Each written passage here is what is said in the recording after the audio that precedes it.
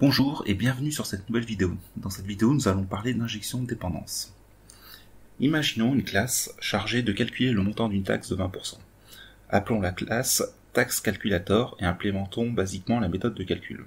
Non, on vous demande de supprimer la valeur hardcodée et d'aller lire la valeur dans la configuration, par exemple dans un fichier property.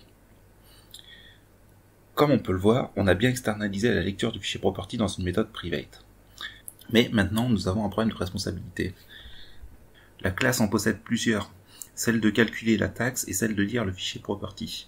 De plus, on mélange de la logique métier, le calcul de la taxe, à de la logique technique, la lecture du property. Pour résoudre ce problème, on peut externaliser la lecture du fichier property dans une nouvelle classe. Ainsi, on sépare la logique métier de la logique technique. La classe TaxCalculator possède de nouveau une et une seule responsabilité.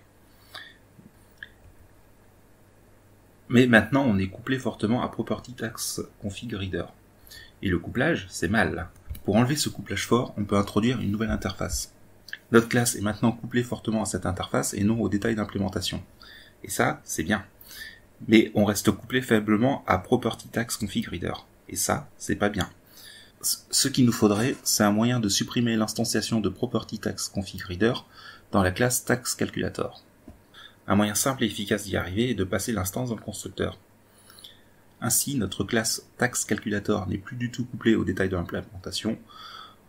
En fait, on a injecté notre dépendance dans la classe. L'injection de dépendance, c'est tout simplement ça.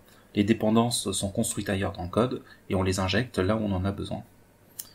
Voilà, maintenant que vous connaissez les bases de l'injection de dépendance, euh, je vais pouvoir vous expliquer dans une prochaine vidéo comment Spring Framework la met en œuvre. C'est tout pour cette courte vidéo. Si vous avez aimé, n'hésitez pas à mettre un pouce bleu et à vous abonner. À bientôt